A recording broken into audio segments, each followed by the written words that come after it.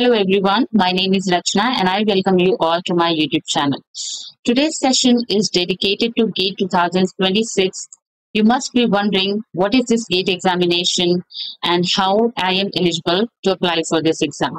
Right, so in today's session, I'm going to talk about the introduction of GATE, the exam pattern, eligibility and the benefit of cracking this examination and also uh, everything about GATE from notification till how to obtain your scorecard. I will help you with everything, right? Well, I will suggest you to join my Telegram channel to get updated uh, PDF and notes and everything. And in this video, you are going to get a complete information. So you don't have to worry about anything. Just relax and uh, enjoy the video. All right, so let's start the session here. The first thing I'm going to talk about the introduction of GATE. Right, so GATE is an all India examination which is conducted conducted across the country in eight zones. Right, so we can compare GATE with NET examination. NET is also uh, all India level examination, right? There that you qualify and you are eligible to become assistant professor and uh, you can also take admission into PhD.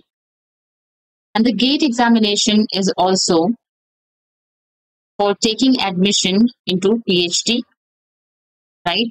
And enrolling in your master's.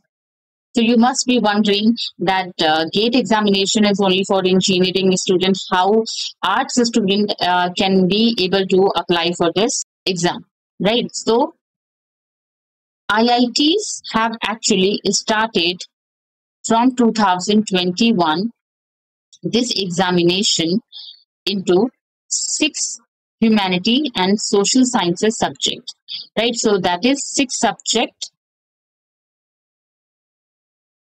in this department, right? So which are these, these subjects? Economics, English, linguistics, philosophy, psychology, and sociology. These are the subjects in which you can apply. If you have studied any of these in your uh, graduation or post-graduation, you are eligible to apply for GATE 2026, right? So these are divided with codes also. So economics code is C1, English is C2, linguistic is C3, philosophy C4, and psychology C5, sociology C6. Right. So when you apply for uh, the, for the examination, you use these certain codes, right? So you do not use English instead of you use C2. Right? My channel is dedicated uh, for English um, literature, right? So uh, we will use C2 only. Right, so IIT has started these examination from 2021 and now this is 2025 right now next year it will conduct 2026 examination right so these are the introduction part uh, very small and brief now I will talk about who are eligible for this exam. Right, so that is the most crucial part. You must, you also must be wondering whether I am eligible or not, right? So those who are uh, completed their graduation, those who are completed their graduation or they are completed their post graduation, both are eligible right? Because the basic criteria is graduation only, right? Even if you are in your third year, still you can apply for this. And if I talk about the benefit of qualifying this examination, so the first benefit, if you are a graduate and you have completed your graduation, so you can take admission in post-graduation into IITs. Post-graduation into IITs or IISc.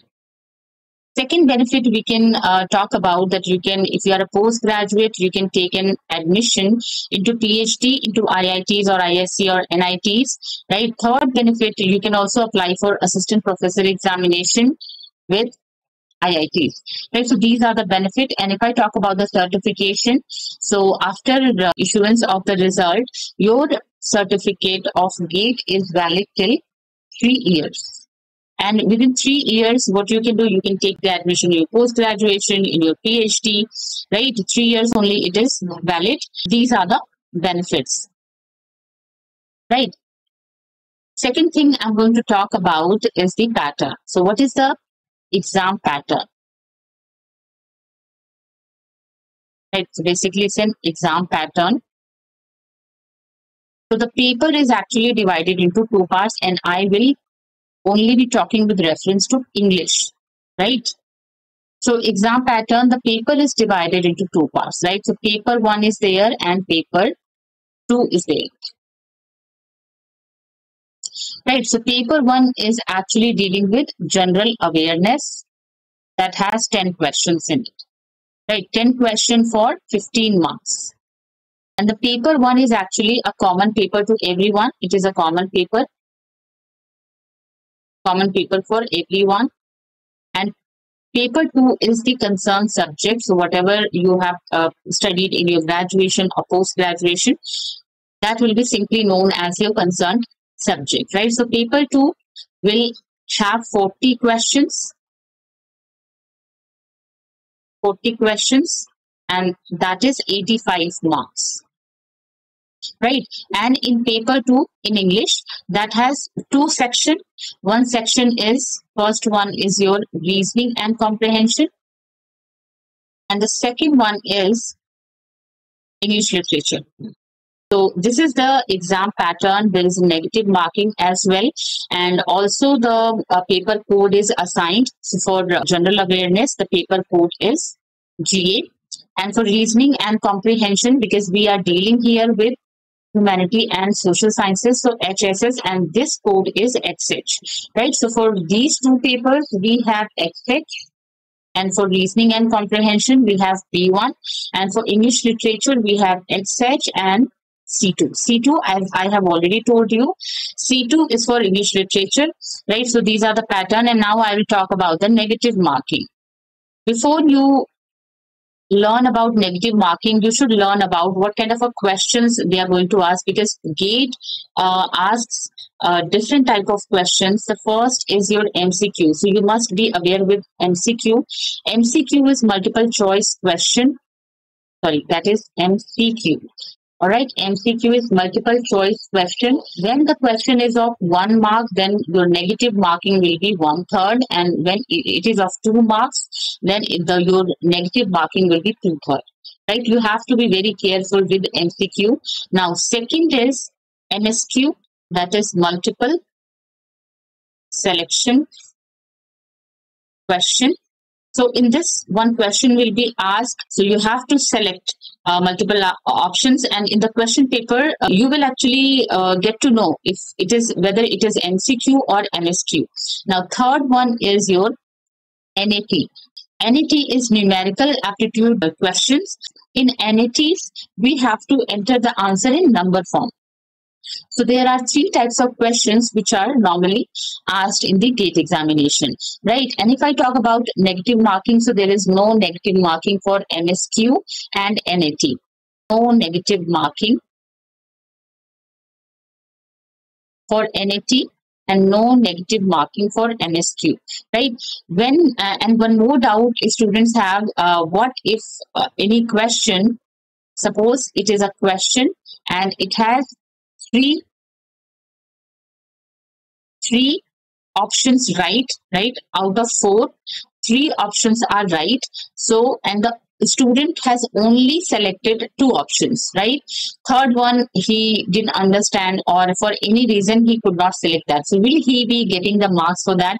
For that the answer is no. There is no partial marking. If you select all three correctly then then only you are going to get all the marks. If you select partially then you are not going to get any mark for that right? So there is no partial marking with msq you have to take care uh, while solving the question, how to solve MCQ, how to solve MSQ, how to solve NAT right? To make your life easy what i have done i have uploaded all the previous year question paper on my channel. I will also share the link in the description box. There you can uh, see. So paper one paper two both i have uploaded. You can have a look there. And uh, how to solve and how to use a calculator. I have shared everything in my video. So you can uh, do watch that. Uh, we are done with the general introduction. We are done with the uh, pattern of the paper. We are done with the eligibility criteria and now I will talk about the uh, when the notification will be issued and uh, when you can apply for the examination and when you can sit for that right? So let's move ahead. But before we move ahead, let me just tell you that I have launched one course that is for uh, GATE or UGC NET and JRF because the syllabus is almost same. If you are willing to uh, get classes from me, so you can enroll for that. I will also share one uh, uh link in the description box. So there you can enroll yourself and I will uh, get in touch with you.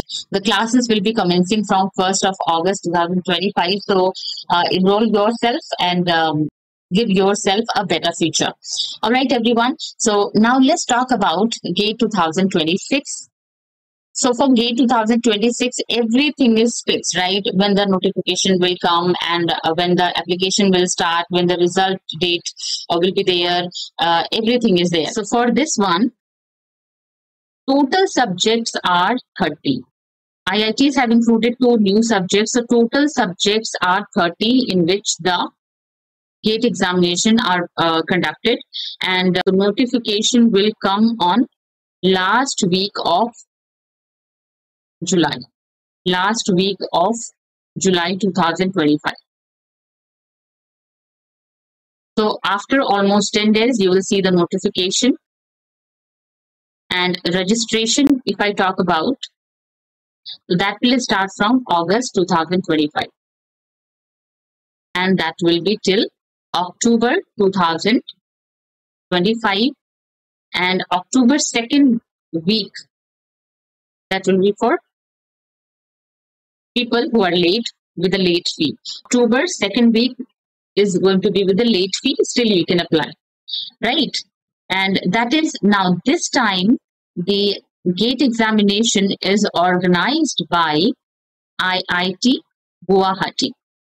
Right, so you can see the logo on my screen here. That is the logo of IIT Guwahati. There are total seven IITs and they conduct the uh, gate examination one by one. And uh, application correction will be uh, November 2025. So November 2025.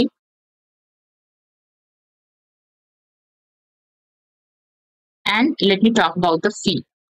Right. So for SC, ST, PWD female, the application fee is 900, 900 rupee. And for uh, other student, other candidate or general category, fee is 1800 rupees. And for foreign nationals, the application fee is US dollar 100 to 200. So these are the uh, application fee. Now let me talk about the admit card. When will the admit card be issued? So admit card will come in January 2026 second week. Second week. And one more thing I just forgot to add here that uh, if you select two paper so that is not for English. Uh, for English, we only select one paper.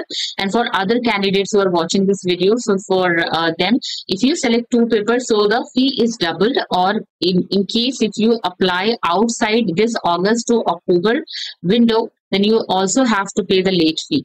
And that is 2000 plus something. All right. So the admit card will come in January 2026 and then exam will be exam will be in February 2025, sorry, 26, first and second week, right? So four dates are given for all the 30 uh, subjects. And after giving the examination the student are very uh, very much worried like when the answer key will will come. So everything is fixed. Answer key is normally answer key is given in february itself that is end of the uh, month right so that is around 7th february 2026 and result will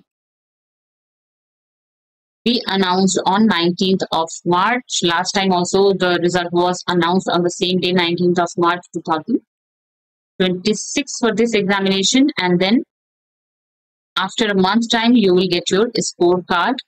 Scorecard 28th of March 2026, you will receive your scorecard. And then you are like eligible to go for your uh, admission in PhD or the master program with IITs, right? So that is a very uh, wonderful opportunity to, uh, you know, head towards and get into IITs, uh, which gives you a very bright and uh, stable future, right, everyone? So uh, these are all about uh, GATE 2026. I hope all the doubts are clear about this examination. Still in case if you have any doubts you can just uh, shoot in the comment box and i will definitely uh, reply to you. And uh, now second request is uh, um, kindly subscribe to my channel and hit the bell icon uh, so that you get all the notification and updates regarding this examination all right. And also you can join my telegram channel. I'll uh, share the link with you in the description box. So there you'll get all the notification updates again in my telegram, right? And